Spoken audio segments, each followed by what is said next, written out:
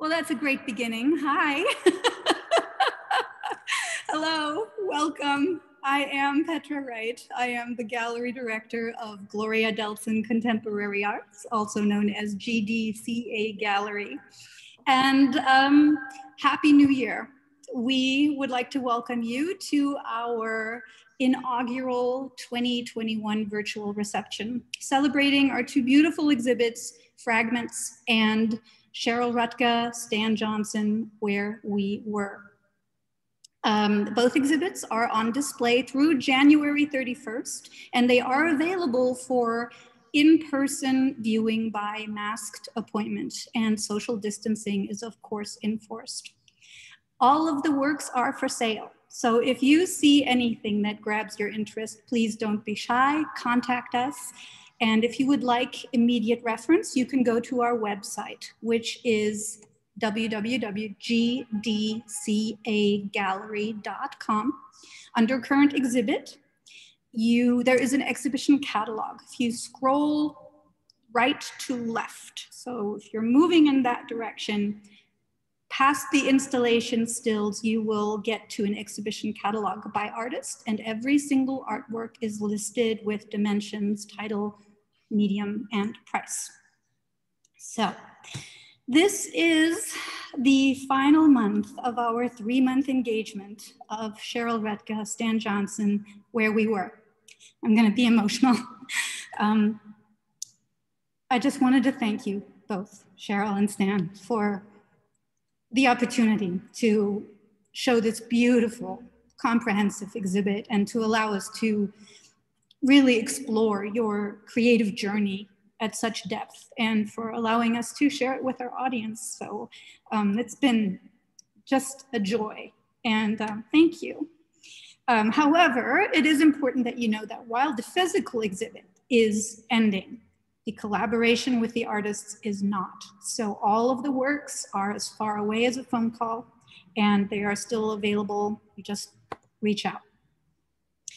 Um, we began this evening with our a debut of our exhibition video made by Jason Ruscio. Oh my goodness, excuse me, made by Jason Ruscio. And if you missed any part of it, uh, please don't worry, we will repeat it at the end. And next, I would like to take you through a slideshow presentation. We are going to be moving through the gallery front to back and into each artist's section at which point the artists will then join us to discuss their work. At the end of the presentation, please don't go away. We will have a Q&A. To that point, if you have questions for any one of the artists, you may uh, type them into your chat button. At the bottom of your Zoom screen is a chat window. And then um, after the slideshow presentation is over, we will look at those and field them to the artists and they can um, answer them. So let's get started. I'm going to share my screen. Everybody hold your breath. Here we go. Petra's sharing the screen. We did it. Okay, let me move you guys over here. Okay, let's see if this is going to work. So this is fragments and where we were. Uh, participating artists are Siri France, Jane Marshall, and Martha Stevens, and of course, Cheryl Hrudka and Stan Johnson. Ah, that's not working. There we go. Um, I thought I would begin with a show statement. The show statement for fragments, and it extends also into this chapter of where we were, is that when viewed up close, the parts of our lives may seem fragmented, but they add up to one cohesive whole. Viewed at a distance, such as time, the image comes into focus. The ripples of distortion are quieted. Our fragmentation is healed. When contemplating our individual circumstances or humanity as a whole, whether examined through the allegorical lens of mythology or distilling concrete personal memories, trading movement and stillness like water reflections, we return to a place of unity. Whichever our passage, we arrive at the same truth. We are not the tree, we are the forest. So this is a perfect segue into um, where we were, part one, which is of course the abstracts. These are digital paintings on aluminum by Cheryl Hrudka and Stan Johnson, as you can see. Um, so these are digital paintings on aluminum. And um, this is the largest exhibit of the creative team to date. And it serves as both retrospective as well as debut exhibit of their large scale aluminum prints, as well as their most recent three dimensional constructions, as well as their new series of three panel paintings on aluminum. And all of these abstract creations are on aluminum and bear that in mind when we get to part two of this exhibit, which is photographs. And with that, we arrive at our first artist in Fragments, which is Jane Marshall.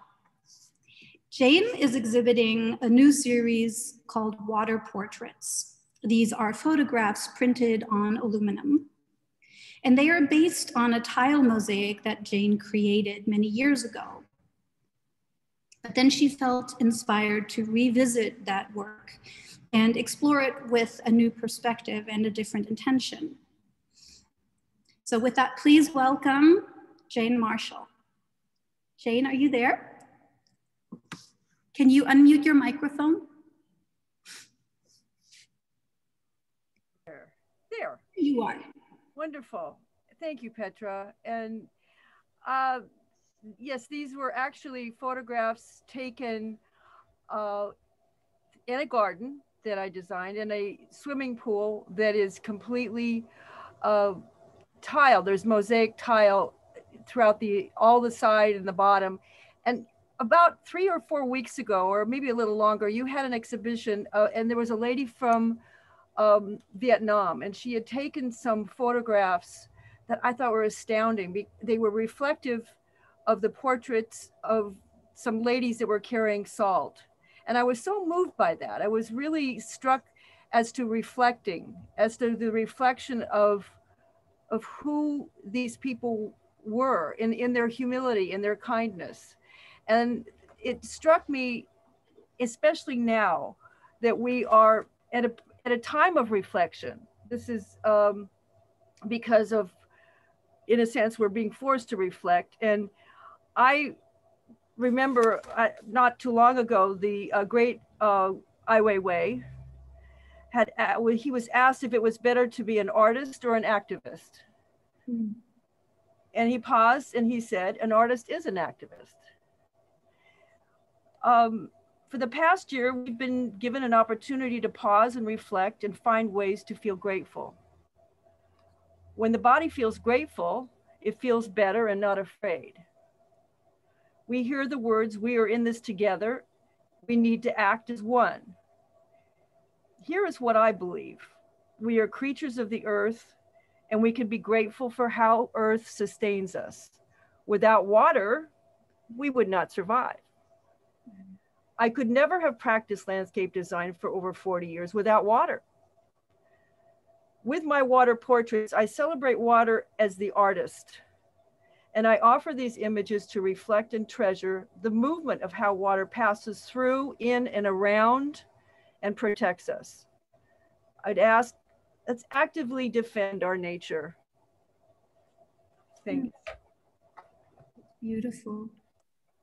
That is beautiful. Thank you. Absolutely. Did you um, have any uh, also, were, were there any differences in how you approached these two pieces, for instance? I believe. Yeah, there, there's series. It this one of the reasons why I say that that the the water is the artist is it, it also goes to light. It also goes to how light is playing on water. And in a sense if if you just let something begin to happen there's a spontaneity to observing and and letting something unfold on its own. So there were a lot of photos photos that i took but in particular i just i could see that what the light was doing for a a nanosecond. I mean these things you know this doesn't it, as soon as the earth moves with the sun this disappears. Mm. so it's almost like you mentioned a forest. It's always like when you walk through a forest it, it you're change immediately something changes because it's happening so fast. And that's what's happening right now. I'm just you know our our world is really really changing but there are constants. And the constant one of the constants we have is water. Mm. and one of the ways that water it's like the amniotic fluid it's the way we float it's how you feel it's how you are you are relieved. And it's like i just you get to the point where rain we finally have rain today in los angeles. There's there's something that the where where light and water plays on itself you begin to realize that there's a rhythm and we are part of that rhythm there's part of what in a sense what we have to do is allow it to happen and allow the energies that we don't want to participate in just to pass it on and mm-hmm. not get caught and this is what i was seeing is is the movement of water and the movement of this that I really didn't have much to do with. Certainly, I did the mosaic patterns and I drew the, the, the composition on the on the walls of the pool. And then I had a mason come in there, and and it took a year and a half to do this. But what I'm saying is that it happens that it happens in a 2nd mm-hmm. and it's like if you can feel at, at any time there's a certain level of gratitude. See, in this particular one, you could see where what water was moving very quickly mm. over a certain surface and then the light just boom came in there and actually I call these brushstrokes, right? The light and the water are actively making a brushstroke. And I just happened to be there. Well, yeah, I mean, I, but I, to take this shot and then to kind of edit it, certainly just, these are, these are close-up images of a much, of a bigger uh, uh, photo. But there was something so kind of captivating. And, and I want you to just sort of like, if I can have somebody lose themselves in this, in either wonder or it's like, oh, isn't it, because this is like this is a series of single pieces of tile that are being washed by light and water, and that's was interesting to me. That was that was something that I, quite frankly, I am dependent upon, not just by my in my physical body, but in my, you know, financial world. I mean, this is why you know I I do, but I am a painter. So this these two things kind of came together for me. And that's what I love. I mean, I'm I'm kind of at this point kind of knitting my gardens with my visual and it's just it's fun. It's fun. I'm having fun. I love it. And it's also incredibly beautiful. And I've always, you know, I I um take other lessons out of these things as well. And to me, this whole series is kind of a, a a testament to the fact that the creative process is ongoing and cyclical. And that you know you never know when an artwork or the idea behind an artwork is truly finished you know because you you may return to it one day and examine it in a new way. Mm-hmm. and also i think it's so interesting the fact that you were inspired by other artists artwork which is of course so so important as a wonderful reminder to artists, you know, by nature, we're, we're also self-critical um, of our work and of ourselves, but especially of the work, it's a good reminder not to judge because ultimately, you know, the work is there to serve others. You never know how it might inspire someone, how it might move someone or inspire them even. So it's um, might just shatter the whole thing and or maybe fold it up like a gum, you know, a, or just break it up and like a, what? Anyway, it's it's it is fun. It is fun. So you know, it's it's. I love it. Yeah, and and I hope it's shiny because I love the metal, Cheryl. I love the you know the metal. The whole idea is because it shines. Yeah. Yeah, and it also perfectly, beautifully blends with the rest of the show with all this gorgeous metal aluminum work. So Again, thank you, team. Sensational new series. Bravo. Love it. Um, this brings us to our next artist, which is Siri France. And Siri is um, exhibiting a beautiful diptych entitled, I hope I don't mispronounce it, Tila Wukit trees. And I learned from Siri that these are actually a form of aspen trees. I thought they were birches, but they are apparently not. But what I adore is also just this wonderful looseness and abstraction that, that Siri brings to this painting, which up close is very abstract and not realistic at all. But when you step back, it comes into focus and it becomes incredibly a, a realistic image. And the feeling is incredibly real. And um, that kind of became sort of the, the theme or the tenor for this show as well. The idea that when we step, the fragmentation in front of us reveals itself and comes into focus and unifies into a whole when we step back. So um, the last few years have been such a whirlwind, and especially this last year, that we're only now beginning to kind of gain perspective. And um, those are just some of the many things that, that, this piece evokes in me. So anyway, please welcome with that Siri. Hello. Hello, thank you for that. And I, and I like the view kind of looking up at the trees that you have there. This is a detail, a bigger piece. But I like the detail, that was kind of great. And um, yeah, thanks for what you said about the, the you know, pulling back and getting focus. Um, because that's actually what I was kind of aiming for. So I'm happy about that. And um, Tila Wukit is actually not a type of a tree. It's the name of a, of a ranch that I was in, in Colorado.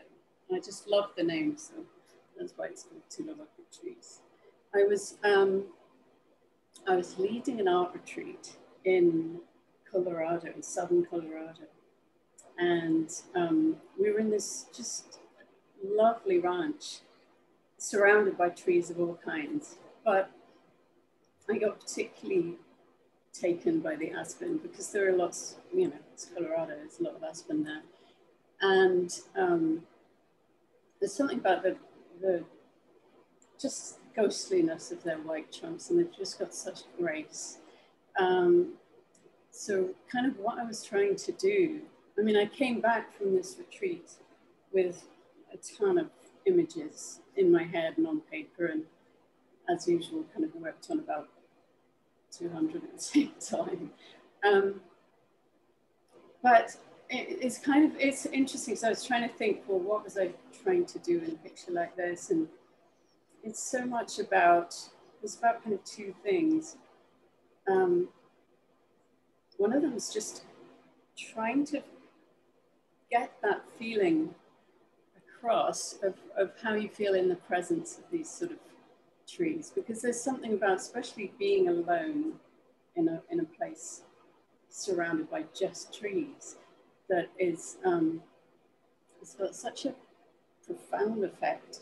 Uh, there's this kind of presence, you know, and there's this stillness and silence and something about just them being, not saying anything, just being there, these other beings that, that, that they're rooted in the ground, uh, can't go anywhere. We, there's such a mystery. They're obligingly giving us oxygen, just like what Jane was saying about this kind of, you know, um, amazing cycle that we're part of. And, um, and yeah, so just get, getting that feeling across. Uh, the other thing is that something about the visual effect of landscape is very sort of profound, I think for most people. It certainly is for me.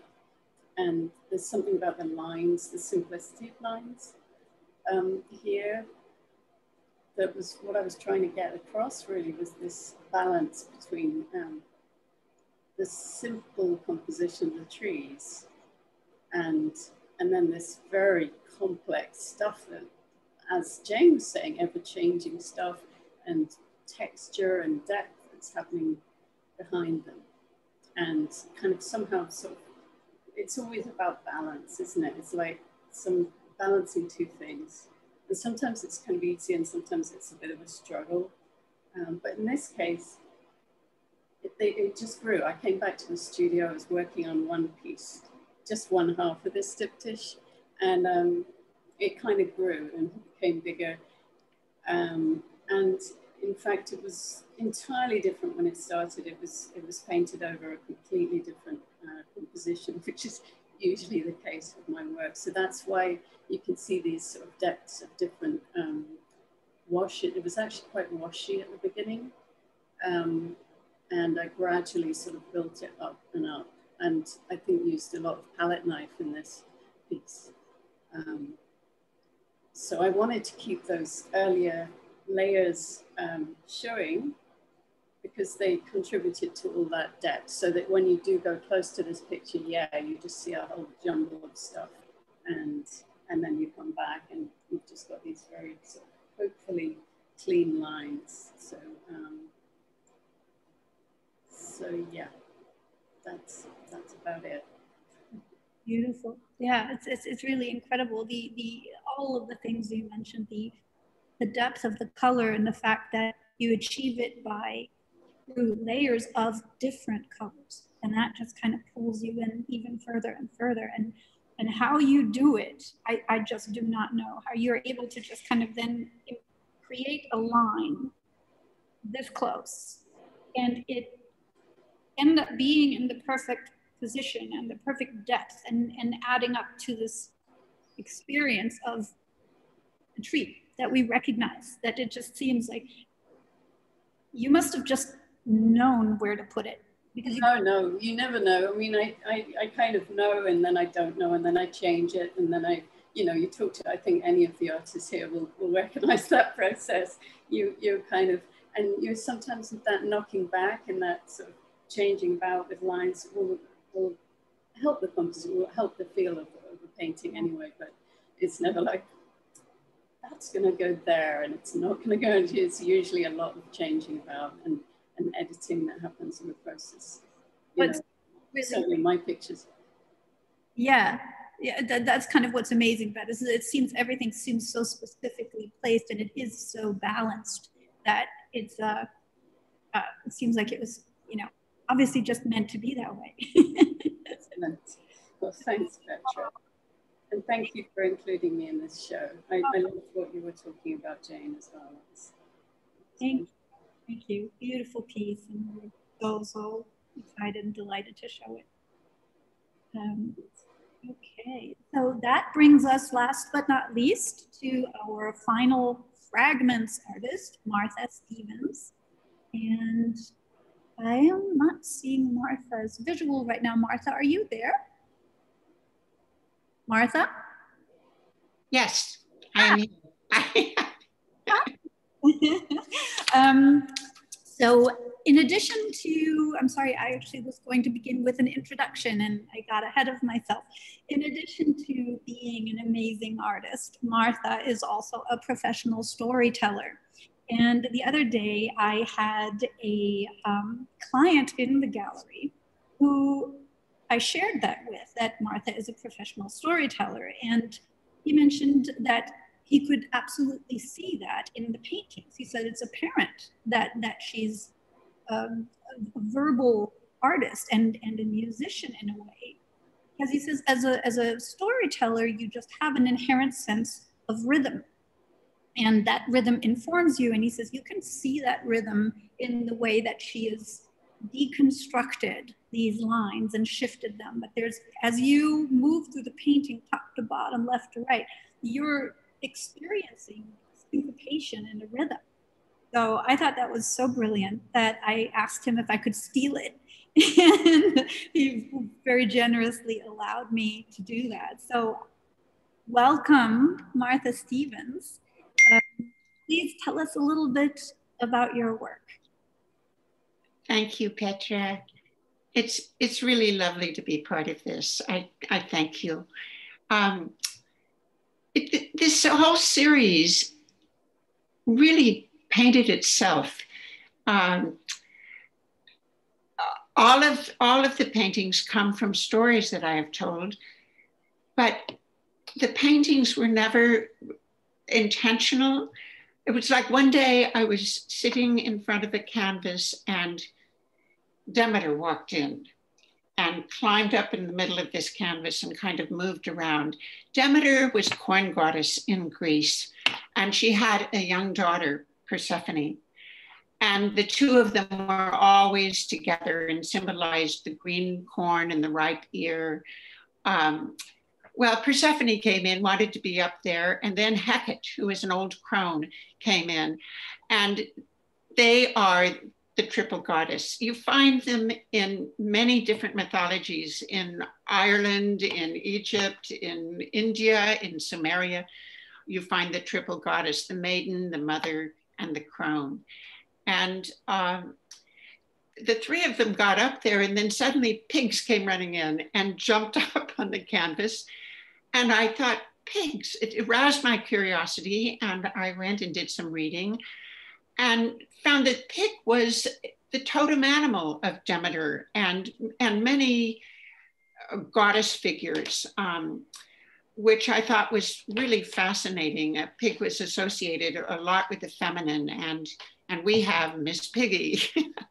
uh, after the pigs, the apples kind of dropped in, and I thought they should really be pomegranates. But the triple goddess also is the the great goddess or the great mother. And i thought well why don't we give a nod to eve? And i mm-hmm. left the apples there and then the skulls came. And they seemed very right for often the the great mother is one who gives life but also takes it and um, it, it was really interesting painting this uh, because it's it's so different from telling a story, and it's like just getting under the skin of it. Mm. Uh, I just I just found it so moving, and I I love the stories. They're they're about what it means to be human, and they help me to get through life and and and see things in a a broader way. Uh, this is just really the characters of one story. It's just a fragment. And it is in kind of fragments because it's always moving. And the thing about stories is that every time a story is told, it's told a little bit differently. And I've told the same story in, in different parts of the world, and people always come up and say, oh, we tell that same story a little bit differently, but it's the same story. and and that we all really, if you go down deep enough, tell the same story. Um, this has been an amazing week and a week of great relief. uh, the, the word sacrifice and the word injustice has been used a lot and this is Prometheus, who is just a symbol of sacrifice. Um, Prometheus, Zeus, the father of the gods, asked Prometheus to create man. And, and so he did. His brother had made the animals, and Prometheus used the same form for man, but he made man to walk on two legs instead of four, so he could walk and look at the stars at the same time. But Zeus wondered what this man was going to be like. And Prometheus started looking at man and the animals, and he thought, you know, animals have much more protection and more power than men because every animal has a protection. Turtle has a shell, a snake has a bite, a bee has a sting. But Prometheus had nothing with which to protect himself. And Prometheus loved his creation so much that he wanted to give man something no other creature had. And he thought and thought, and finally he said, Fire. I'm going to give man fire. Now, this was a bold and dangerous thought because fire was sacred. Only the gods were to have it, but Prometheus was determined. And so he stole a hot coal from the fire pit, took it back, and gave it to man. And not only that, he taught man how to use the fire, how to create with it, how to make tools and weapons, how to cook his food with it, how to keep warm to scare away wild animals. But Zeus was furious that Prometheus had give, given his creation, that, that puny little man, sacred fire, and he punished Prometheus. And the punishment was he was taken high up in the Caucasus Mountains and chained to a rock. And every day, this huge bird would come down and peck out his liver. And every night, the wound would heal. So the bird came back day after day, after week, after month, and still Zeus was angry. Now, Prometheus, Prometheus was immortal. And so this punishment would go on forever. And it was so unjust and it was so painful. And I just, and he did this because he loved his creation so much. Mm. And I just, I just love Prometheus. I, I could feel his suffering. I could feel his cry for injustice.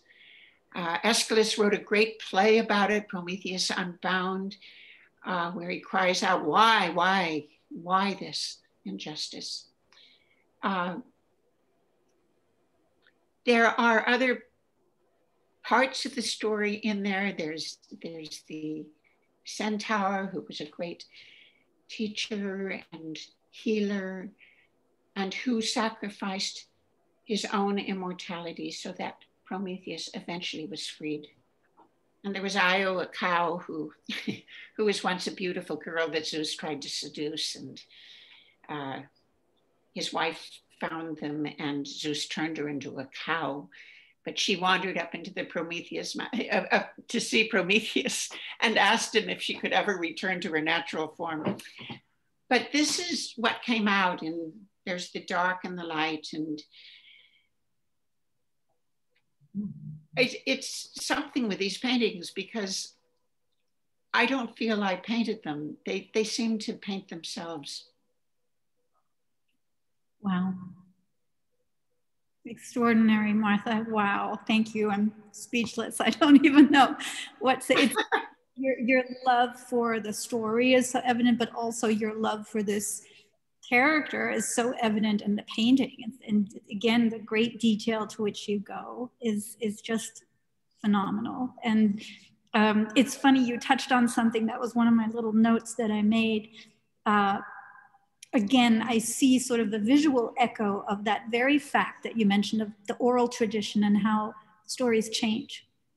And I felt like that augmentation, that slight shift was almost represented in that beautiful fragmentation that you created in the sections, you know, where the, the same line might be continued, continued slightly shifted, you know, slightly different shade, it doesn't align. And that's that's just the organic development, you know, as tell yeah. us live it and experience it. But I, and I love how always there's these these wonderful circles that happen and how what you're saying about the painting painted itself ties back to what Jane said in the beginning of the artist in that series was the water, was the light, and it created itself. She was there to observe it and to capture it. And that's also what mm-hmm. Said in a, in a way. You know, you guys are you take the moment, the feeling, and you you capture it in the way that you do. Wow, you guys are all incredible. Thank you. Thank you. And this is a perfect segue to our amazing uh, solo retrospective show. So we're now entering part one abstracts of Cheryl Hrudka and Stan Johnson, where we were. So these are digital paintings on aluminum and they're created in a process called dye sublimation. So this is a process that uses heat and pressure to transfer pigment into the surface material. And I've created an overview of the individual pieces so that uh, you can have a slightly closer look at them um, because it's a little bit harder to uh, see the details, especially uh, in the wides. So all of these works again are on the website. So if I go too fast, you can revisit them there. And an entering Stan's section, I wanted to start with Stan's statement.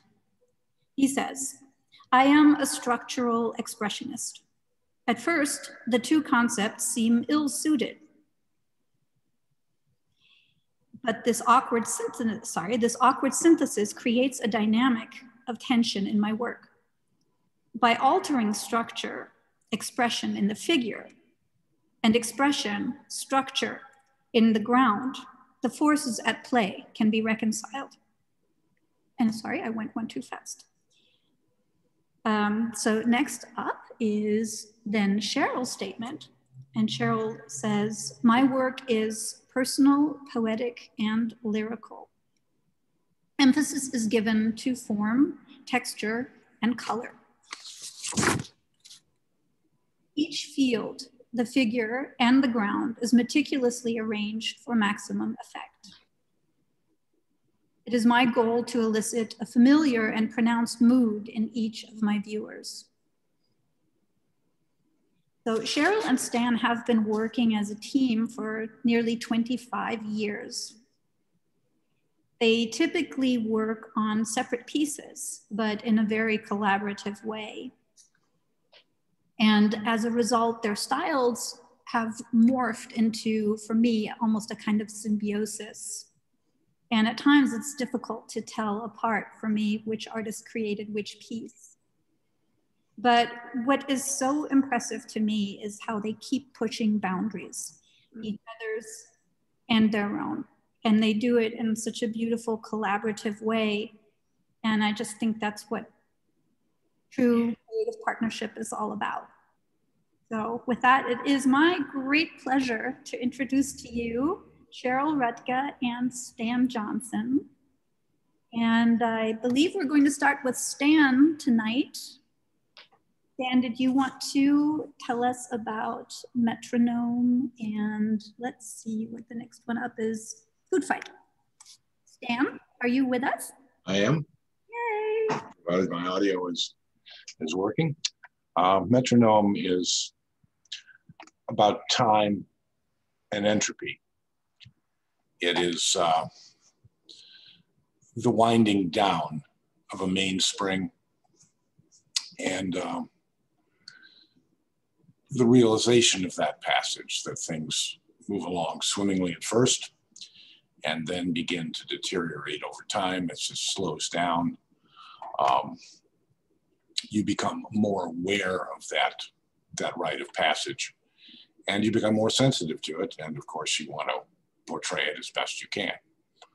Um, this was the original design of the piece. The spiral elements mimic the mainspring of the metronome, and uh, it's done in a fairly aggressive manner where the figure actually literally floats over the ground, and I mean literally.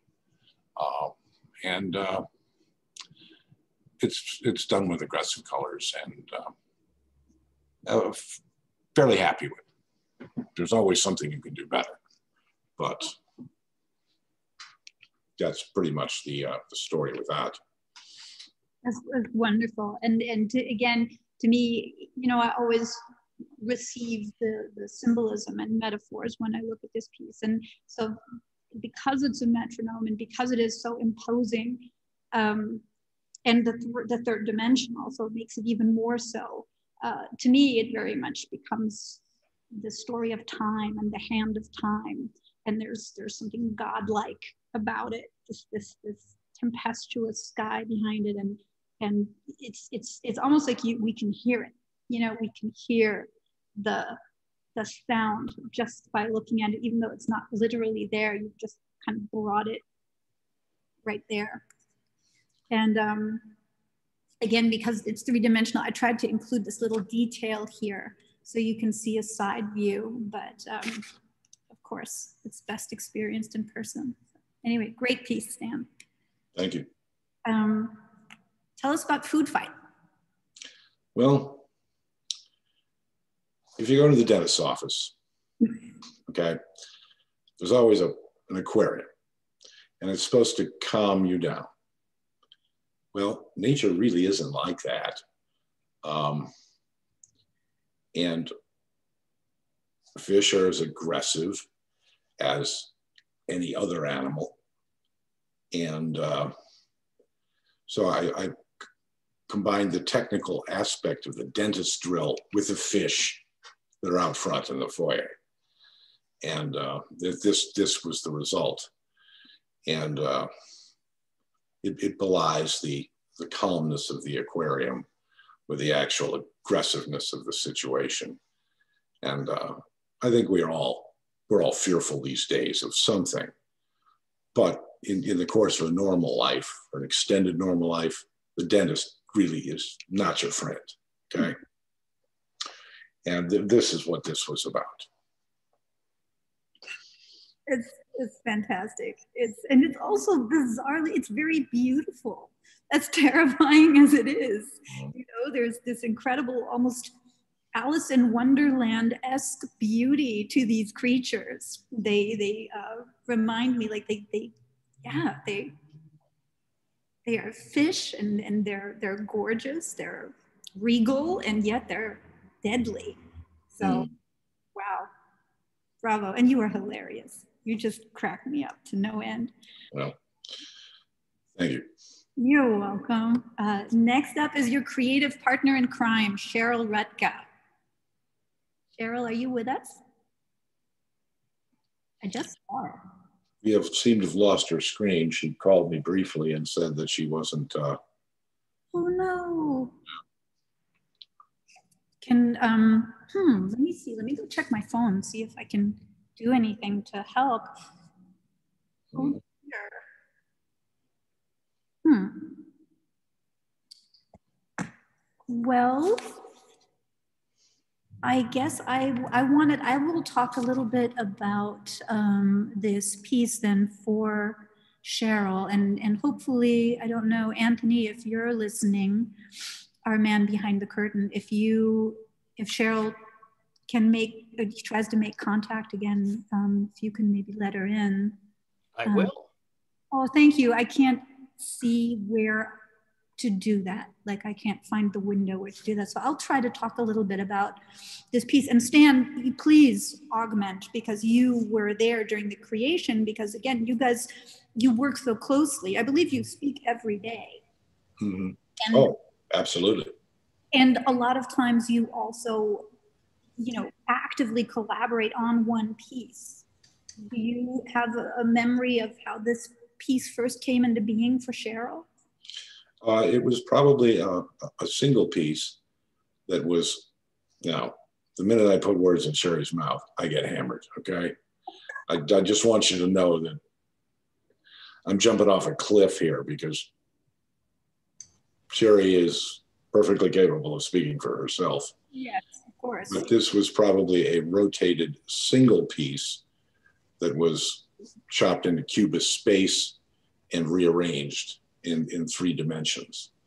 Uh, okay. Sherry has, has very good geometric sense, excellent color sense, and uh, the arrangements augment the depth of the piece. There are actually three different planes in this piece. There is the background, the foreground and the middle ground. And there are three separate elements to this piece that are floating on top of each other. So there is a dialogue in the space that's, that's literal and figurative. Um, I happen to like this piece. It, it's a very strong piece. The son of a bitch is heavy.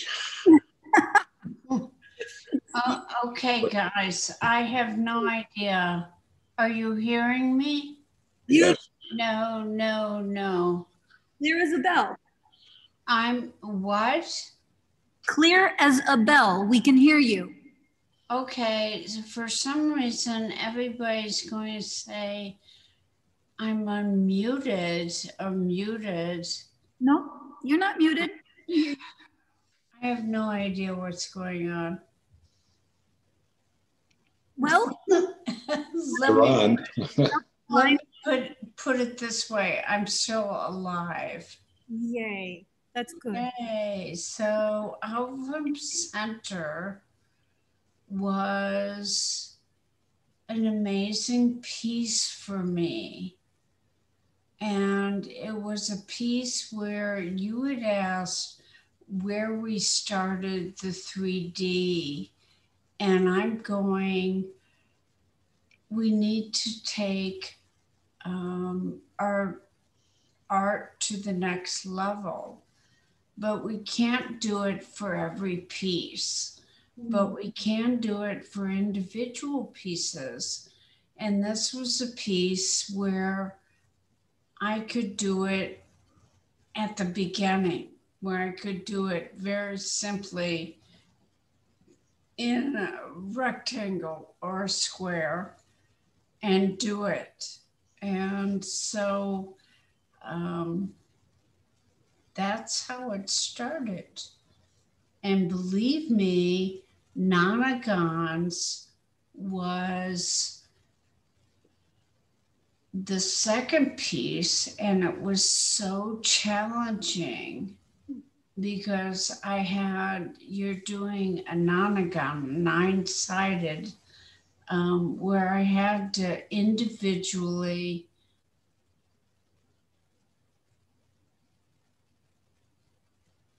separate the background to a nine sided image to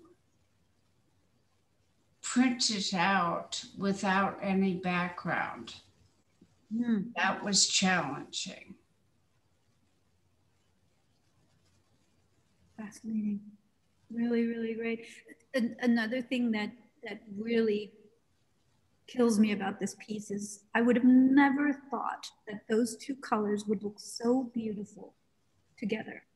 The gray and the yellow, and then these touches of oranges and red, but it seems like the, the highlights of it, it's just the impeccably tasteful and bright, and I really learned something. So I thought that's just a really great sense of design. And uh, Stan also took us through the three different levels of the piece. Um, just fantastic piece. And yes, very heavy. yeah. Very. I don't want to install that again. um, the next piece, however, should be a lot easier. It was not as heavy. Will you tell us about this one, Cheryl? Um, this one was actually a piece where I was trying to, my idea was ugly on the outside, beautiful on the inside. And um, uh, Tucson has this gem, gem show every year and you have these geodes where you have these absurd, ugly rocks, but you crack them open and they're act- actually exquisite mm. on the inside. And it's a reflection of people as well. And I created this image and then I was thinking 3D, how how could I do this 3D? So I actually created a diamond um, to emphasize the inside. And made that image and so it was built so it was attached to the original geode to match up but it was 3d yeah. Beautiful.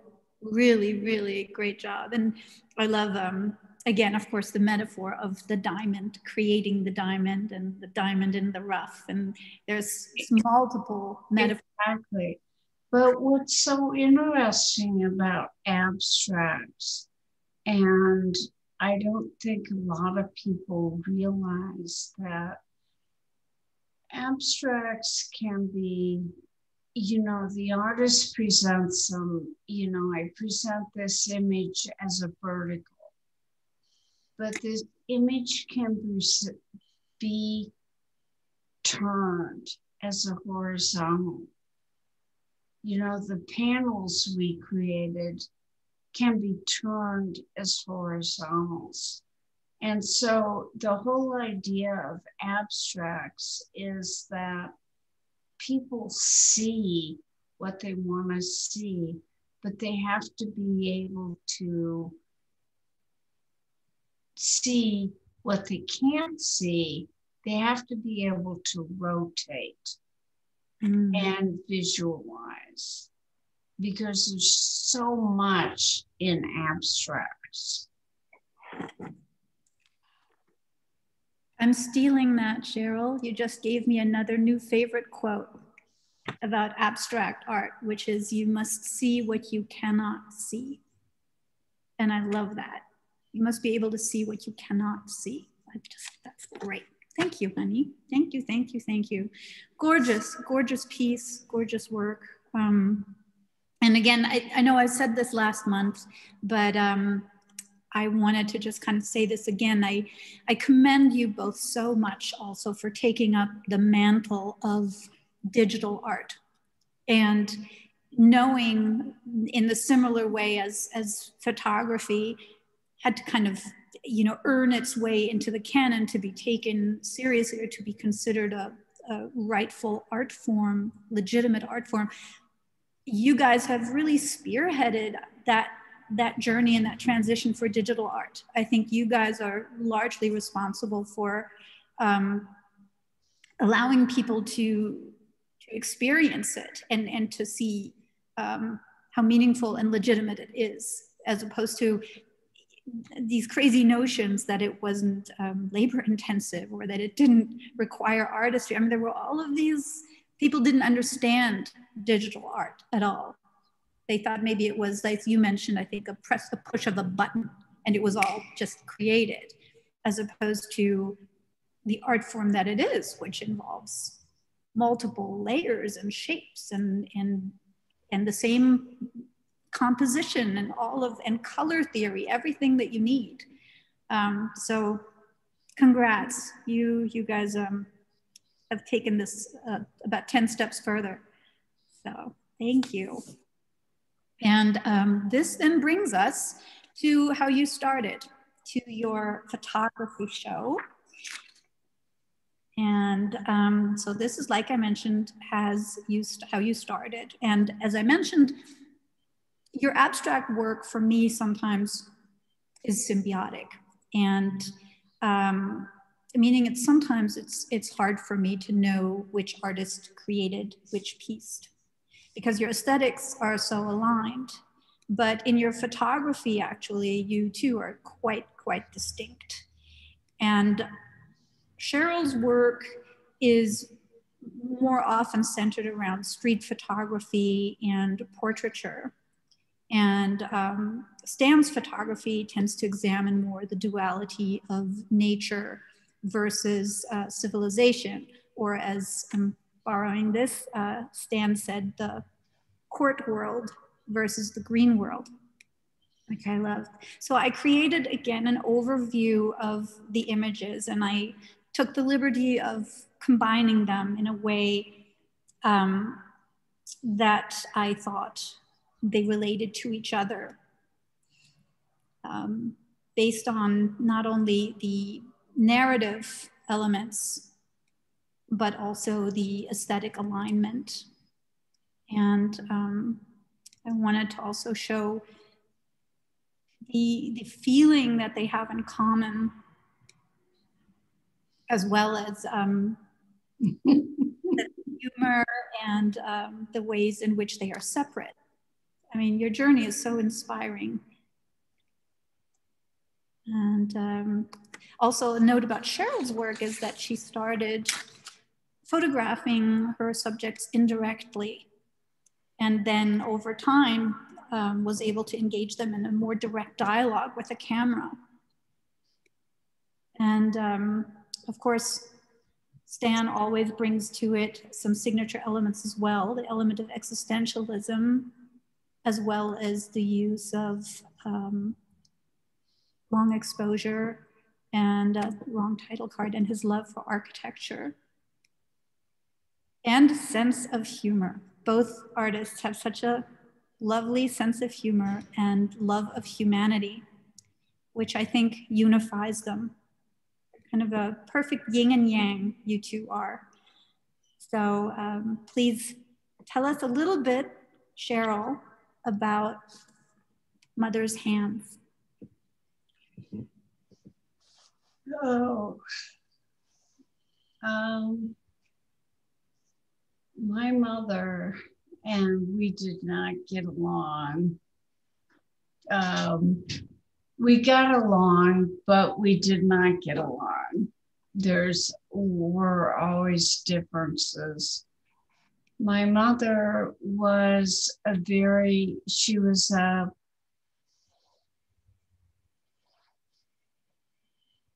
feminist to the nth degree, and she was always a um, she was a head of an English department at a public high school. She worked so hard. And there were times when I would see her sit and fold her hands. And I always looked at those hands. And I commented on to her once on these, and she was embarrassed. She was so self conscious about her veins in her hands. And to me, they were lovely. They were so expressive. They were her. They were all about her hard work.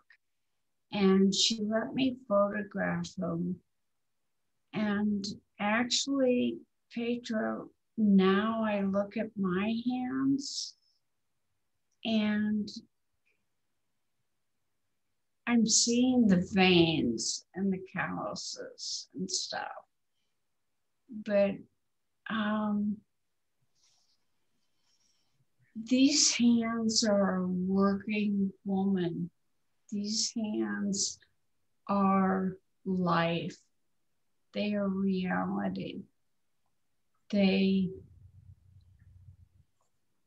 they mean so much because they are reality. Yeah, you nailed it. They are so real. That's why I just find them exquisitely beautiful. Um, the the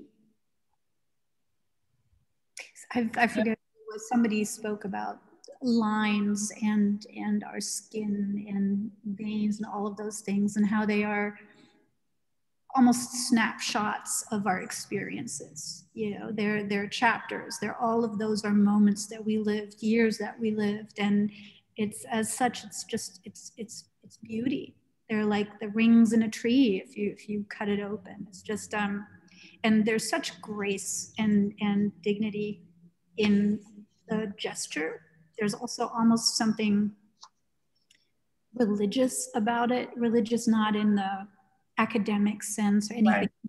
In the what I mean is spiritual. There's there's a devotion. There's a a devotion in the gesture, and um, it's just you just nailed it. I'm so glad you saw that, and I'm so glad you captured it.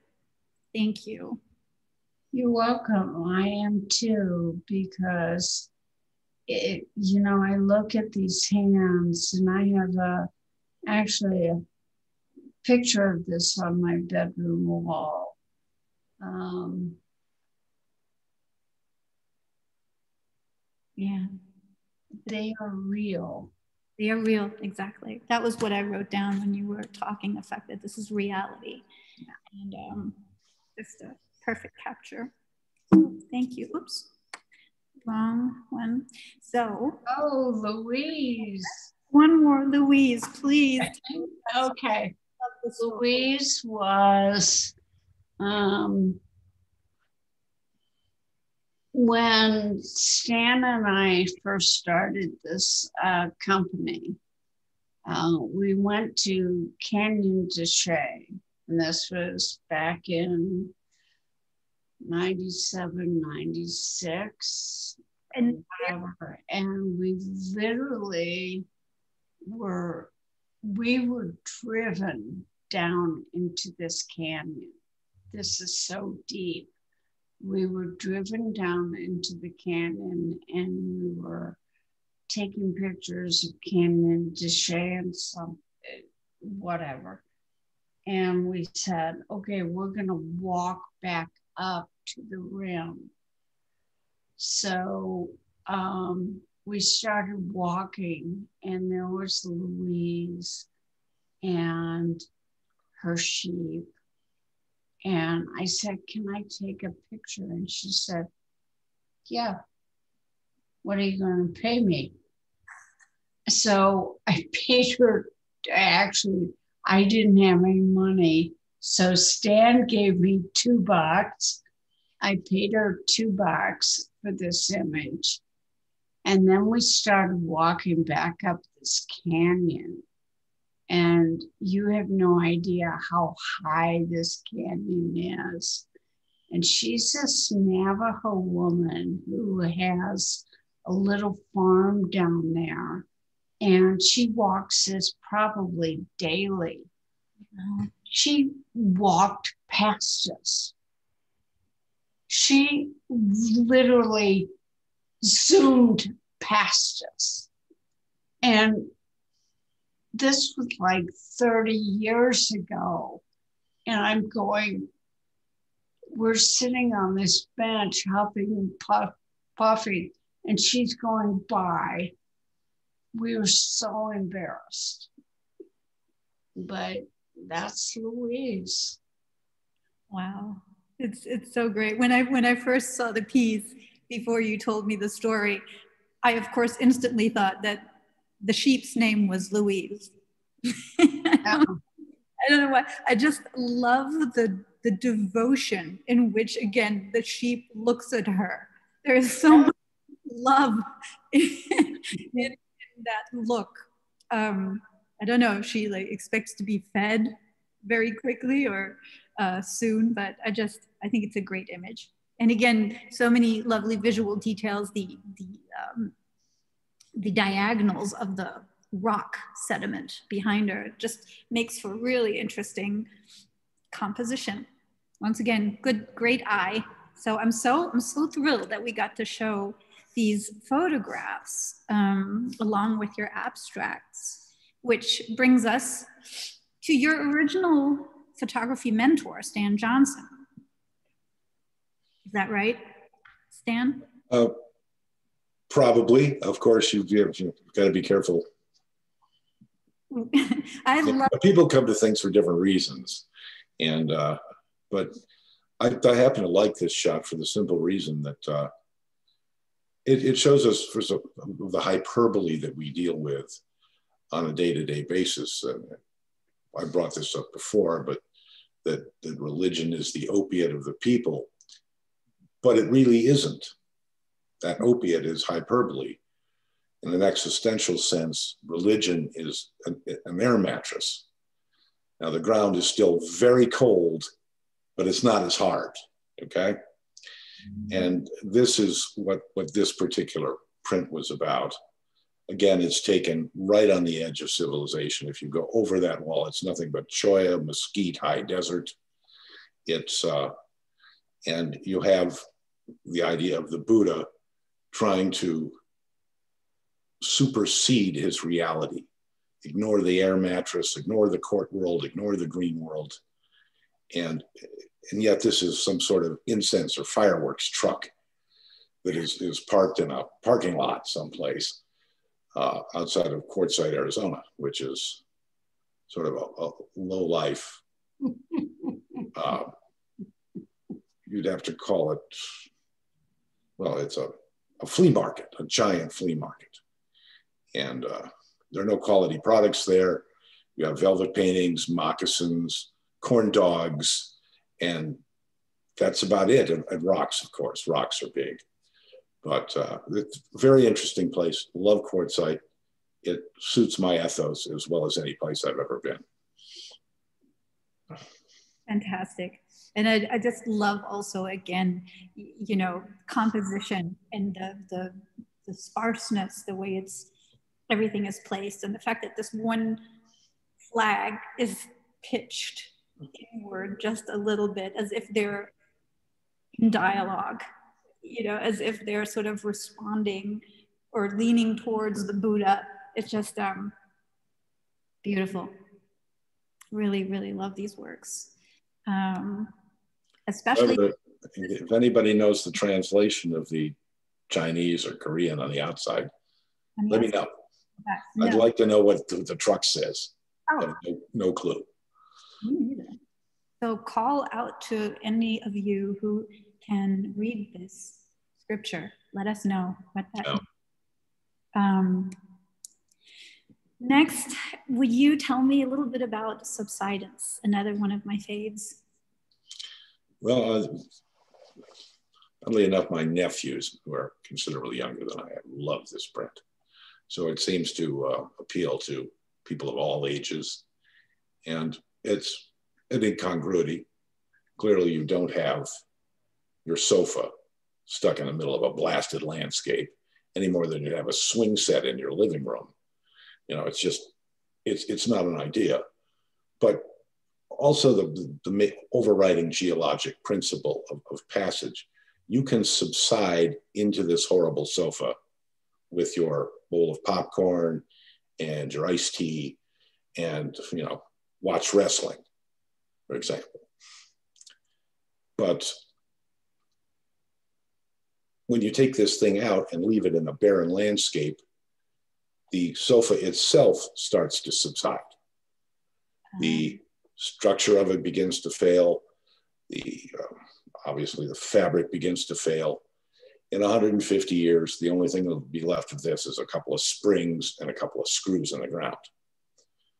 Now, it gets worse or better, depending on your point of view. The landscape itself will subside. So you've got the subsidence of a human being into the couch, the subsidence of the couch into the ground, and the landscape itself subsiding. So again, the passage of time and the inevitability of it. Beautiful. Love, love, love. Thank you. Thank you guys so much. So again, I know I've expressed how much I, I love this work and I just really appreciate being able to see how you guys started and how your aesthetics evolved. And also a little side note, because I know you shared with me how when exploring the photography, you guys became interested in experimentation and that that had sort of catastrophic consequences at times that you know were trying to destroy or, or distort the negative but then digital came along and it was sort of the answer to your your prayers in in that sense that it gave you a vehicle with which to manipulate distort and experiment um, originally with your images and then moving on beyond that into pure abstraction.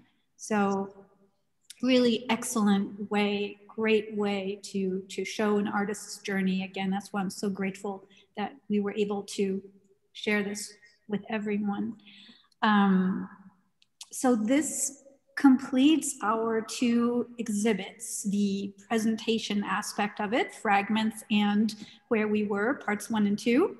And uh, next, we uh, would like to ask everyone to join us for a Q&A with the artist. This will be very interesting. So Petra, do you see that you have a number of questions in the Q&A box? Oh, no, not in the uh, Okay, so at the bottom of your Zoom screen, look for Q&A and press the button. I do see a notification. Now, I guess I'll start with Q&A and then we can move over to chat or we'll, we'll do both. Let me see. Um, these are just wonderful testaments and comments, which I um, want to, ah, no, this is a question. Okay, so the first question is, first lovely. Uh, this is such a beautiful event. Thank you for giving us a chance to appreciate these pieces all the way from Woodland Hills. I would be really interested in hearing about Martha's journey to Prometheus. Was there a specific poetic or dramatic interpretation of that story that stuck with you? Martha. Oh, unmute yourself. Martha, you're muted. Okay. Um, my journey to Prometheus. Oh, Prometheus? Mm-hmm. Prometheus? Oh. My journey to Prometheus. Uh, it, it, I was very involved in Greek mythology for a time. I was, uh, one of the things I was doing was working in schools, uh, telling stories to uh, middle and high schoolers alongside of their social studies, which was in uh, ninth grade and sixth grade uh, uh, Greek mythology and Egyptian. And so I, I got very interested in, in that and started reading a lot. I've always loved the theater and um, and love the Greek tragedies. And Prometheus Bound is one of them. Uh, it, it's a story, I think, about the creator, about a creator. Uh, it's a story about love and injustice. There's another painting that I that that is in there of Cain and Abel, and that also is of injustice.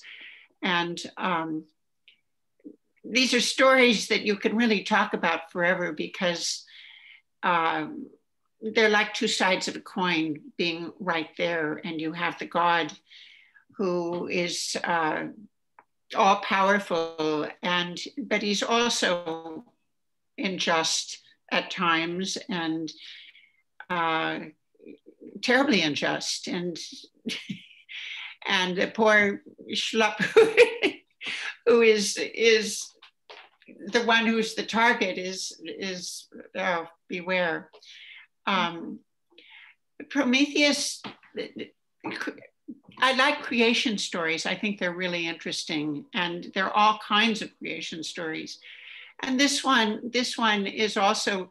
The story goes on that Zeus isn't happy just punishing Prometheus the way he is, and he decides he'll punish that puny little creation of his, man, and decides he'll send something down to pester him day and night, and he decides he's going to make a woman.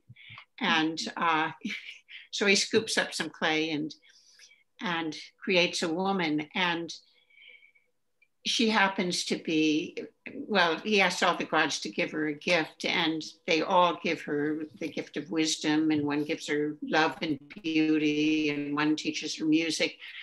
And they finally name her Pandora because Pan means all, and Pandora is gift of all the gods. And then Zeus gives her a little box, beautifully carved, and tells her, Take this, and you have to go and live on the earth now but keep the box with you always, never open it. But of course, the time comes when she just says, What's in there? He gave it to me. There must be something for me in there. And she finally does open it, and all the ills of the world come out of it. And, you know, hatred and justice and war and death. And, and uh, she slams the lid down and just weeps, What have I done? But she hears a little voice inside saying, Open up, open up. And I'm different than the others. Let me out. And she finally lets this, this creature out, and it, it is different. It's beautiful. It has all the rainbow colors. And she says, Who are you? And the creature says, I'm Hope. And uh, I was put in the box just in case the others were let loose. And she says, Will you stay here with me always? And Hope says, Yes although sometimes it will seem I've left the world forever. But when you least expect me, I'll be there. And so it was. The world knows all of those things of death and hatred and jealousy and greed and all the things we've been experiencing the last four years. uh, anyway, that I just I love the story. I think it's a beautiful story. Thank you. I love that. We all did. Thank you. Um, wow. Uh, there's the next question is for Jane. It's uh, to Jane Marshall. Did you use film or digital camera and does it make a difference? Also, at what angle did you shoot the pool in the first slide, such as straight down or at a lower angle? I used my phone, my iPhone, um, to take the photos. And the angle, much like what Cheryl was saying, these you can turn these images any way. I mean, this is the shots were actually taken from a foreground position, shooting down the pool, shooting from one end of the pool. The pool is actually in the shape of a kind of a croissant. There's a there's a kind of a, a half um, beach entrance, and then you step in, and then you swim around, and then you step up. And so there's this there's a, a, a spiraling movement that is innate to the swimming pool. So there's kind of intrinsically there is that um, as a given, and um, so it was a pretty simple thing. I mean, just of, of uh, using an iPhone to do this. Uh, I hope that answers the question. I just there's a, a captivation with a, a certain moment. There's there's like as as we are yes absolutely martha in into this time of enormous uh, at least waves of emotion for me it's just like whoa it's like a tidal wave of emotion and that's why in, a way we go with this you know we we and and in the and the perspective is arbitrary it's it, it doesn't in a sense matter it's it's what was being active as a display of of how water and and light mingle, you know, earth, air, fire, and water. The gifts, I guess, keeps us going. Thanks. No, there's a follow-up question to this. While you're on a roll, Jane, um, uh, an anonymous and attendee has uh, written, Jane, your articulation of how water moves and its analogy to life is beautiful. Your works even surpass that articulation. Indeed, the art is an activist. What is next for you creatively? Well, actually, I'm very, uh, and I, I have to say, you know, Cheryl, your mother's hands. I mean, the, there's there's something about. Uh, I do woodcuts, and I've just finished one that is has my hand, and um,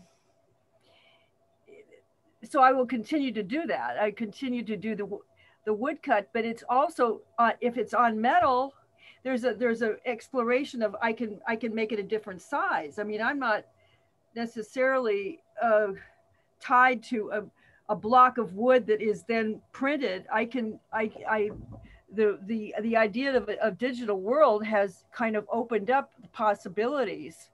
I do what's next is actually when I look at these, I thought really what what might work is you just shatter it, right? What, what would happen if I shattered water? and what would happen if I put a different arbitrary background? We never know what we're going to get, right? It's a crapshoot. What are you going to get? You, you, you know, so, but I also like the idea of what Agam has done. I don't know if I can do that in metal. It would be sort of pieces of it. But if on one angle you see something and then on the other angle you see something else, it's like stepping in somebody else's shoes, right? It's like, what do you see?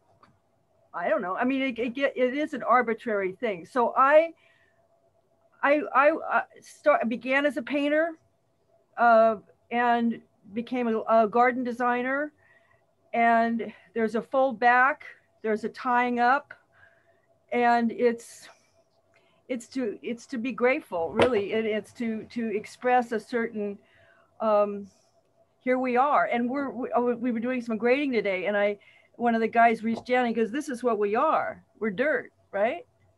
that's the the expression of we're all bound up in all this. And so with the idea of being grateful or thanking the thanking the dirt thanking, thanking the rain it's like it's just so much better than having to deal with right martha with what we've been going through. It's just the emotional part of it, it is just overwhelming. So thank you for the question. I i go with whatever i can that make, gives me some fun. I really enjoy doing this I really enjoy it. You know, it's, it, I don't have to I don't have to deal with people. You know, I just have to deal with I have to deal with my image and my fantasy.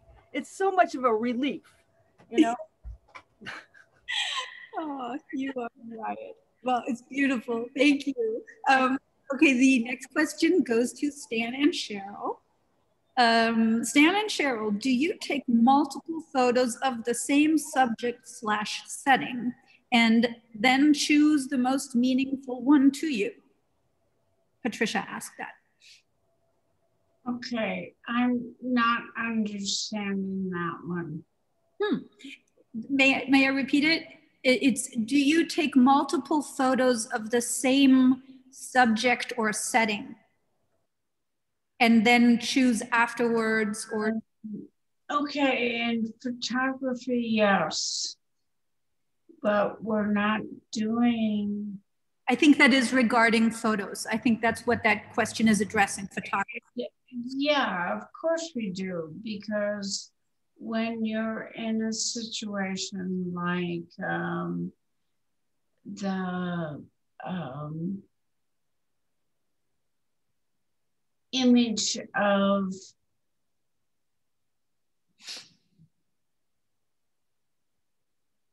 um, the two images that you have on the wall. Okay, Devil's Kettle. Yeah, I took multiple images of those. Mm-hmm. Um, as far as the fences go, no, that was and and photo. The multiple images of Devil's Kettle is I didn't have the right lens. So I took, this was an incredible image and I couldn't get it. So I took half and half mm-hmm. and I sewed them together. I sew them together to create the image of Devil's Kettle. But what I really wanted to do was create the ambiance of Devil's Kettle, which is you go to these sites and you see things like logs or signs or litter. There's these aren't pristine sites. You love them, but they aren't pristine. And so I wanted to create in Devil's Kettle the fact that these are beautiful sights, but if you look to the left or the right, actually, when you look at it, it's there's a defect. And that's life. That is life. There's nothing perfect. That's life. Deal with it, type of thing. Love it. Awesome. Thank you, Cheryl. That's perfect. Um, I have a question for Siri now. Um, an anonymous attendee writes Siri, Tilawuket trees, this piece is perfection. Quote, blindly giving us oxygen, unquote. I love that a very pedestrian question. Why two canvases instead of one? Oh, well, I've got a pretty pedestrian answer for that. um, I, it started as one canvas. In fact, I had been playing around with a lot of um, dipped, and I do enjoy um, doing these diptychs, which I can never say, um, because of the way that sometimes one picture, one picture can feed into another. And in fact, I quite enjoy when I'm hanging a show, just seeing that, you know, the way that they relate to each other is always quite, can be quite surprising. But in this case, it really was, I started out as a, like I said, a totally different picture and then it just, it, um, it grew and it needed more space. And rather than go and get a whole new canvas, I, I wanted to kind of use what I had and just kind of, it, it grew that way. And, I, and, it, and it worked. If it hadn't have worked, then I probably would have tried a bigger one, but I liked it in a, in a twosome. Perfect. Pretty straightforward answer. Thank you very much for your pedestrian adult. Very sensible. Um, question for Stan. Stan, you are a contradiction I adore. You speak of division, pain, darkness, yet you and your art emanates absolute joy of life. Explain, dude. Quote. I'm cynical and sentimental at the same time. That's it. There is no more. Love it. Uh, cynicism is the ba- last bastion of the romantic, and it's it's there. It's in me. I don't. I don't. Even, you know. I'm not trying to to obfuscate issues, but it's it is an obfuscation. You, you can be both, and I am. Wonderful. Thank you, guys. Um, a few more, I'm gonna have to skip around between also the chat one, um, that there is also a, a comment that came in. Cheryl, mother's hands, thank you, thank you, thank you. Wow. Right? Um, okay, let's go to chat and see what we've got here. This is some internal conversation. Um, ah, okay, here we go. Um, oh, no, no, no, I'm so sorry. Forgive me, people. I am so sorry. This is taking me a while to scroll through this. Um, okay, Suzanne Belcher, one of our dear artists, is in the audience, and she wrote to all. Hey, Suzanne. Hi, Suzanne. Just loved all the presentations. The entire show is incredible. oh, sweet. Petra's insights are always spot on and illustrate her inner connection to artwork and the artist. Thank you. Oh, that's so sweet. Thank you, honey. Um, Arlene Simmons writes to the panelists, Martha, what sources can you recommend for becoming familiar with mythology?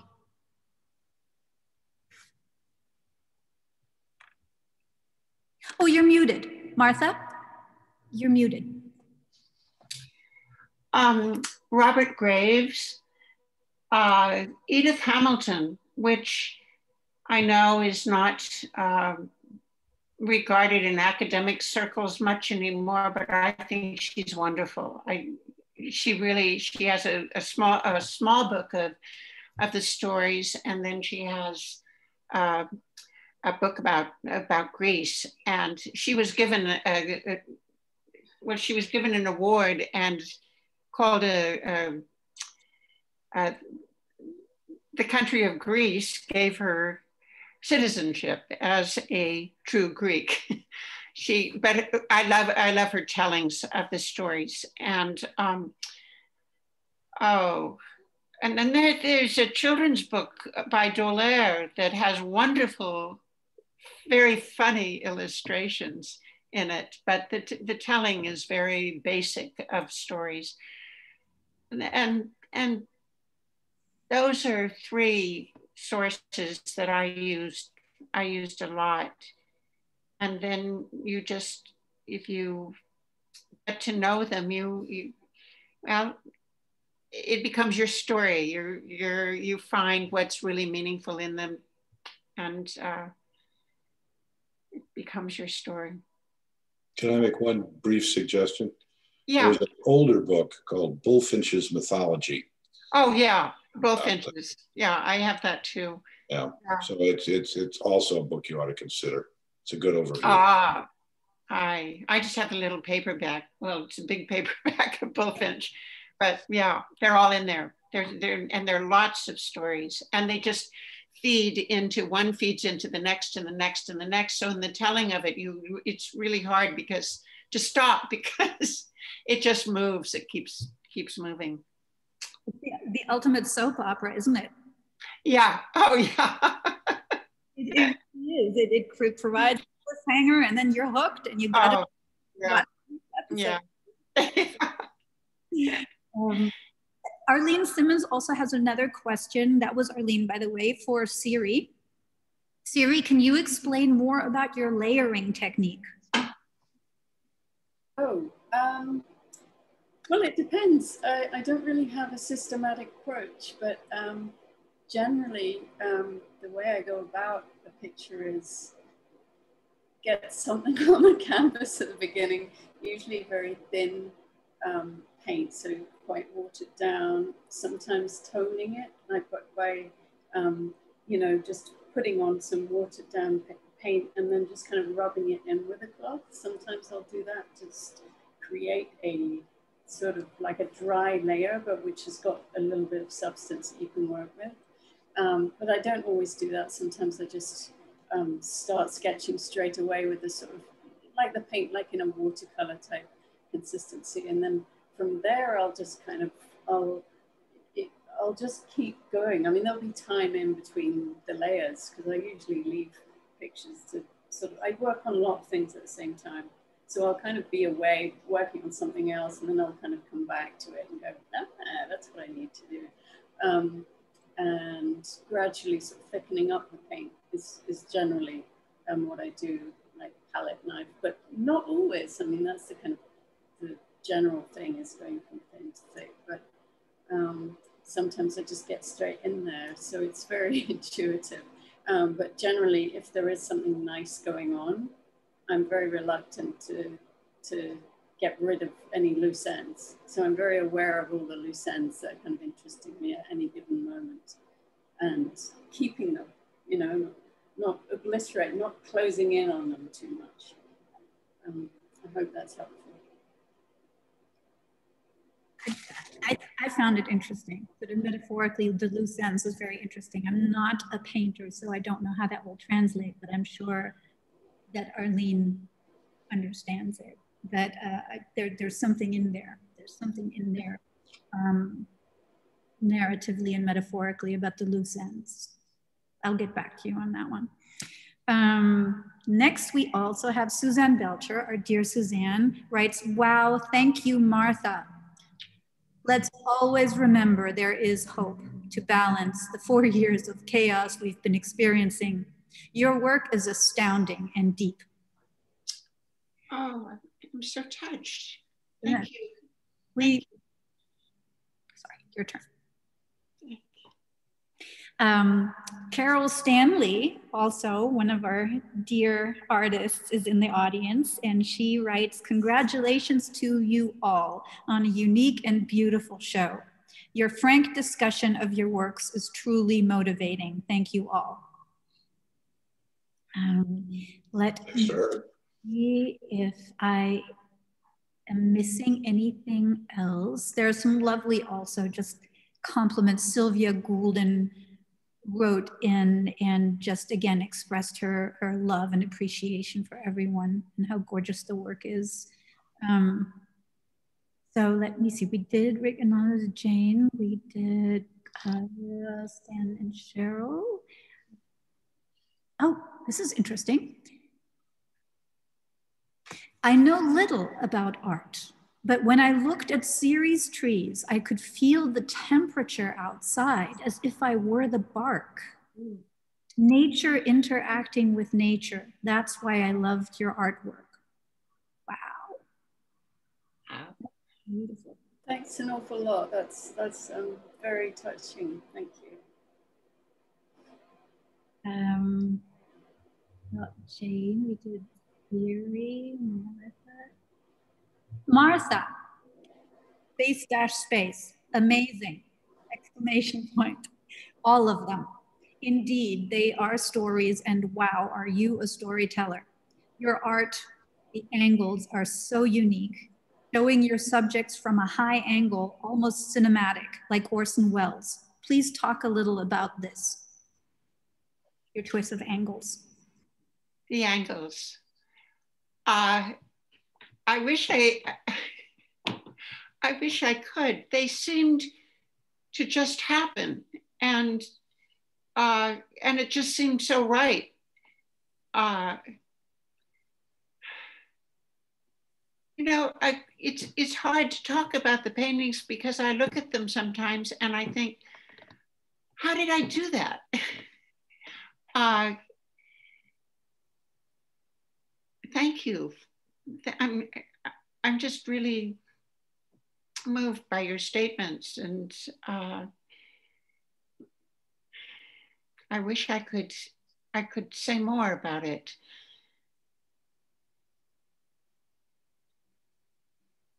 It just the angles seemed right because I suppose the stories are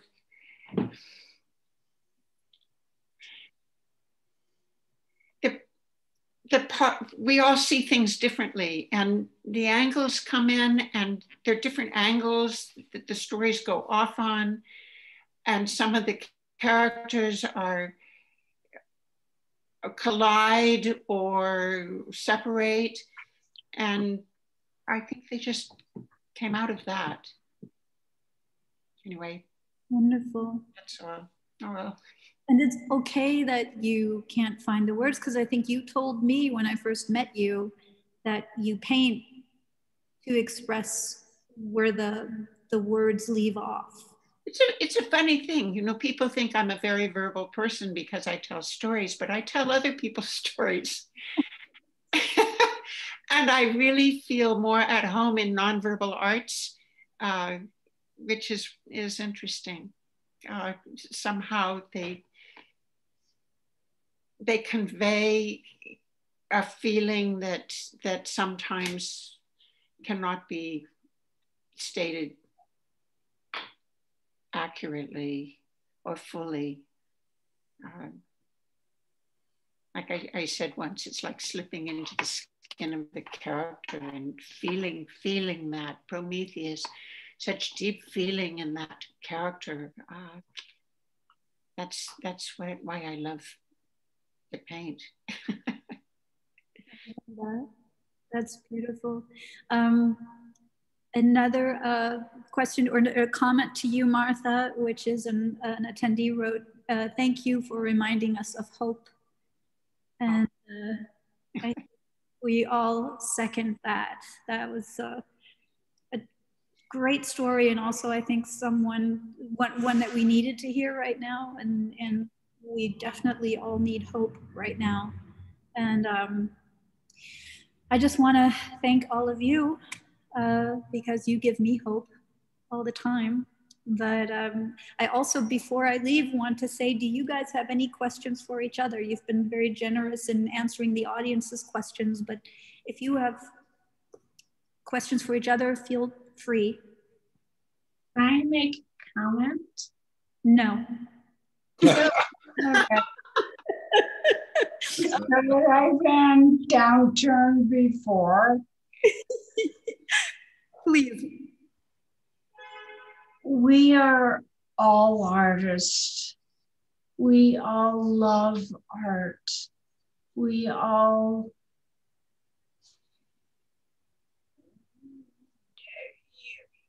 during the current situation, um, have it's affected us. It's affected our our art, but we are artists and we try. We are not going to be accepted. We are our art is not going to be accepted by everyone, but that's okay. The the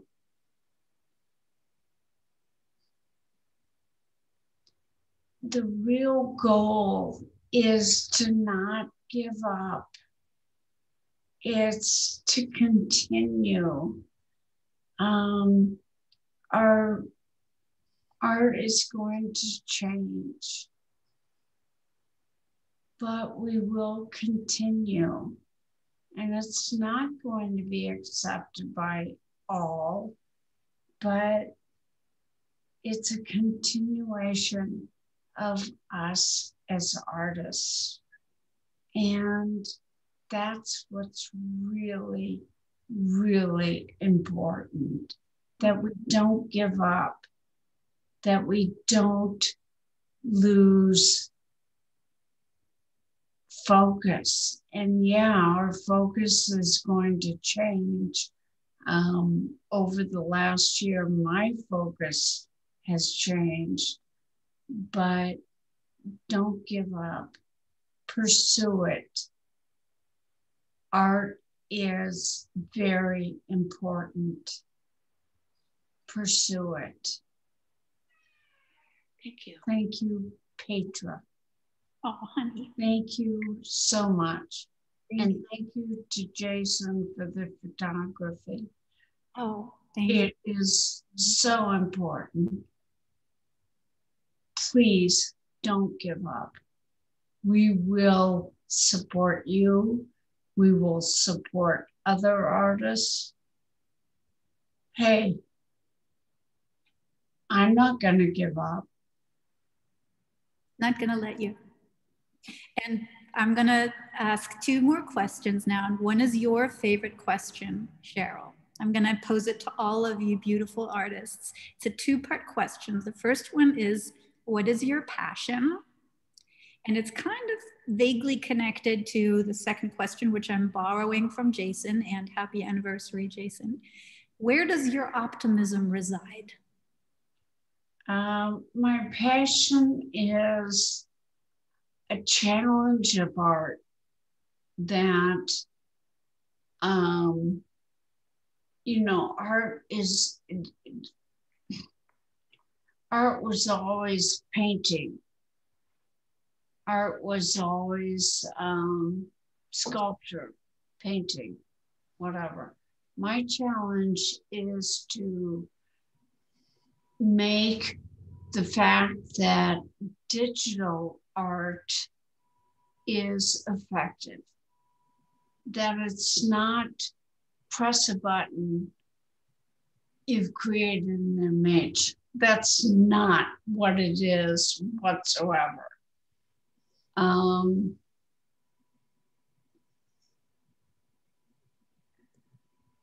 I want art to live on. I want art to affect people, to enhance their lives, to make them feel some semblance of calm. That's always been my my goal. It's what it is. Beautiful. Perfectly said. Anyone? Any takers? Come on, people. All right, I'm a taker. Taker. Uh, Cheryl, thank you. I think you're so inspiring, really. And we're one of the things that I get is that art says there's a future we're here. This is actually a time that we emerge. It's out of the geode that we kind of show up. And art says, you know, that we have more life to do. One of the things that I recall, Petra dear, is that uh, when I studied, I studied figure painting with Harry Carmean, who was a, a wonderful, great artist. I think Harry might still be alive but he said to me, artists need to be around artists. Artists need to know artists. Now, I tend to be somebody who works kind of in a solitary way, but I really want to acknowledge Petra because what you're doing in this format is creating a condition and an opportunity for the empathy that and the support that artists really do need to continue with this because this is how we're wired we're wired to do this. We may do it in different ways, but what we get in a way supported and stimulated and uh, an atta girl or an atta boy or keep going is from another artist. You know who's kind of doing a similar thing with their life.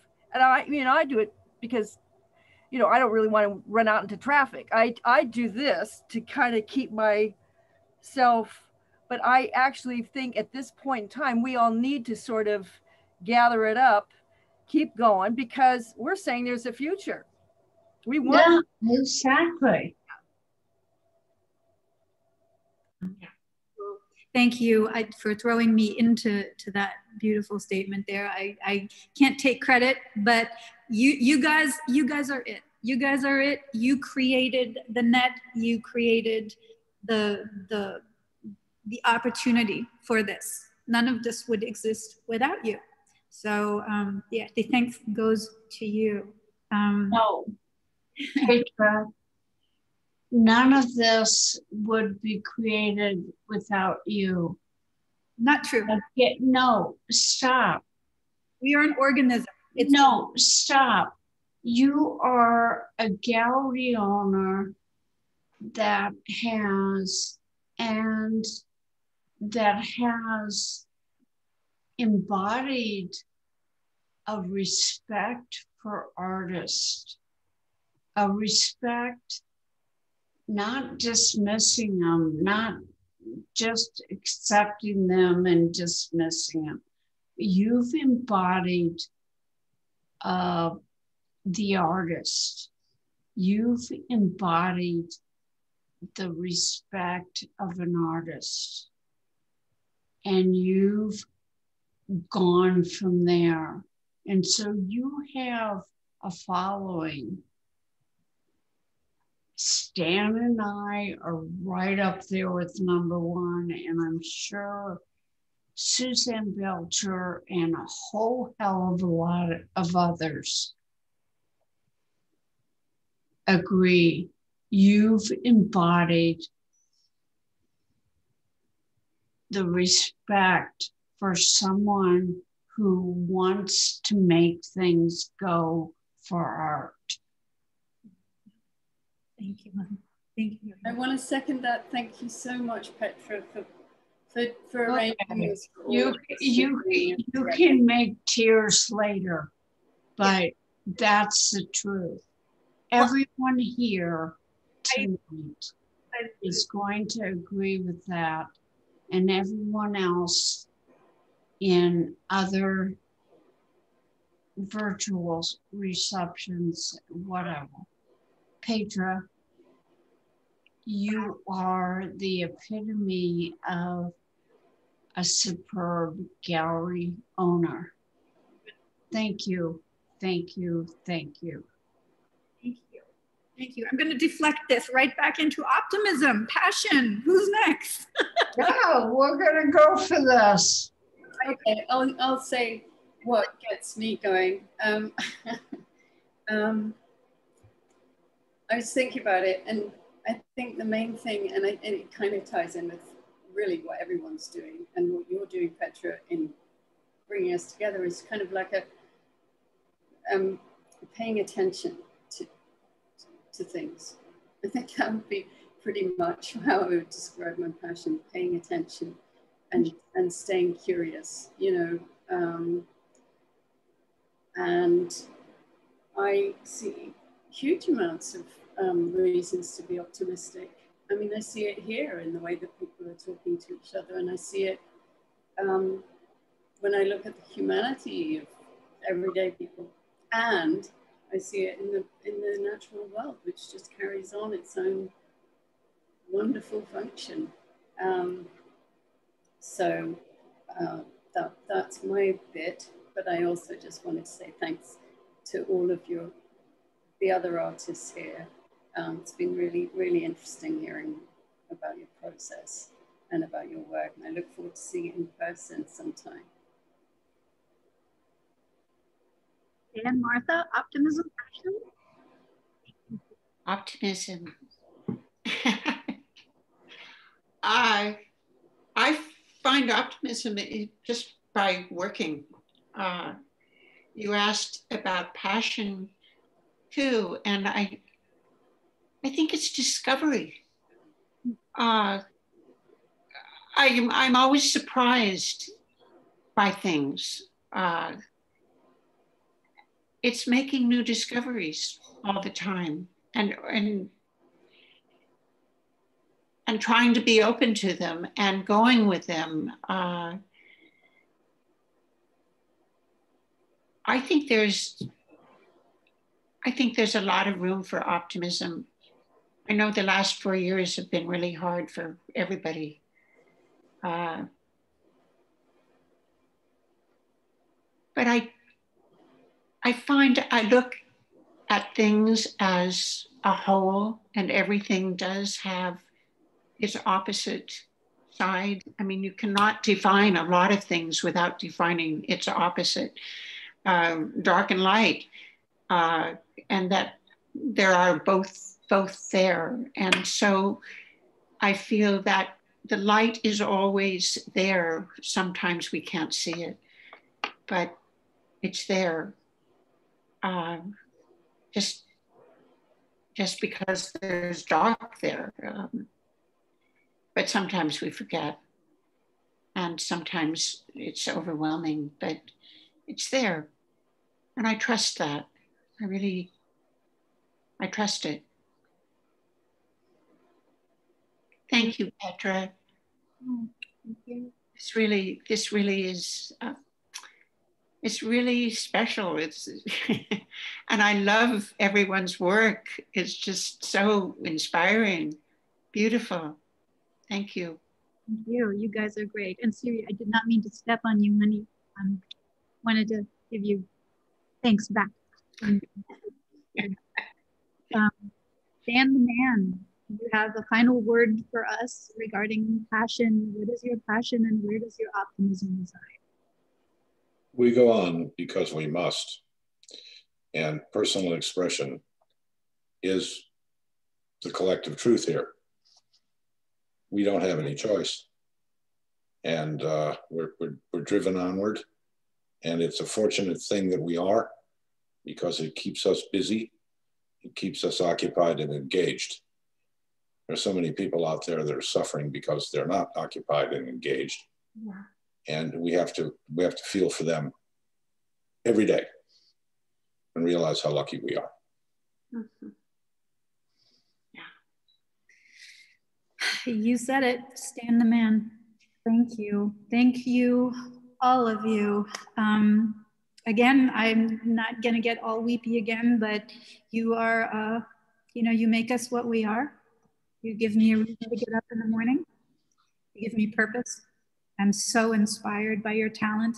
Every month, I'm amazed. Every time you email me or text me with a new work of art or a new idea, it just gives me so much joy and, and motivates me and inspires me to discover, to be truthful, to be joyful, to remember the hope in the darkness, all of those things that you mentioned. Um, Thank you. I also tonight want to thank Anthony Caldwell, whom I have forgotten consistently to thank, who has been our brave, generous, and patient webmaster, the man behind the curtain, without whom none of this could have ever happened. So thank you, Anthony Caldwell. You're not only an amazing artist, and I'm so excited to show your work very, very soon, but I also your generosity and your tutelage of baby stepping me into this new virtual world while having a nervous breakdown, resisting it. Thank you, Suzanne Belcher, um, for introducing this new format to me. And schubsing me, that's a German word, it means push, pushing me into the water. Um, thank all of you. Thank you, Anthony.